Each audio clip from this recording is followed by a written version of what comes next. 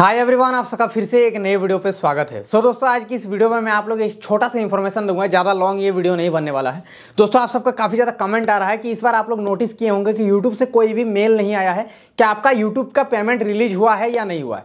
जैसे कि दोस्तों कभी भी यूट्यूब का जब पेमेंट आता है तो एक मेल आता है यूट्यूब की तरफ़ से देख सकते हैं गूगल एडसेंस की तरफ़ से लिखा हुआ रहता है कि योर पेमेंट इज़ रिलीज़ इस तरह करके ठीक है? जो कि दोस्तों इक्कीस तारीख से बाईस तारीख के बीच में ये मेल हमें जो है आ जाता है। बट दोस्तों इस महीने का मेल वगैरह जो है काफ़ी सारे यूट्यूबर्स को आया ही नहीं है। तो क्या आपको ये पेमेंट मिलेगा या नहीं मिलेगा? काफ़ी लोगों का ऐसा डाउट है कि शायद यूट्यूब इस बार पेमेंट ही नहीं भेजेगा।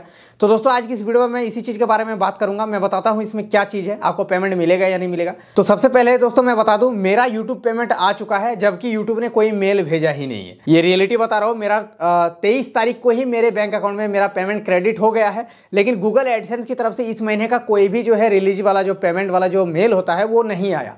बट पेमेंट आ गया। तो दोस्तों, मैं बता दूँ, ये यूट्यूब का एक ग्लिच है, एक बग है, जिस वजह से क्या है कि मेल वगैरह नहीं आया है। बट ऐसा नहीं कि आपको पेमेंट नहीं आया होगा। आप अपना बैंक अकाउंट चेक कर लो, हो सकता है आप वही तक आपको आ भी चुका होगा, और अगर नहीं आया है तो आपको आ जाएगा। टेंशन लेने की ज़रूरत नहीं है, जैसे कि अभी सैटरडे संडे का दिन पड़ गया बीच में।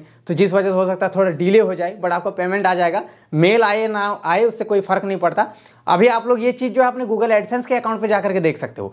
आपका भले मेल नहीं आया होगा, लेकिन आपका गूगल एडसेंस पे दिखा देगा कि आपका पेमेंट रिलीज़ हो चुका है। ठीक है? जैसे कि वहाँ पर पेमेंट्स में दिख जाता है कि आपका कितना डॉलर बना था और कितना रिलीज़ हुआ।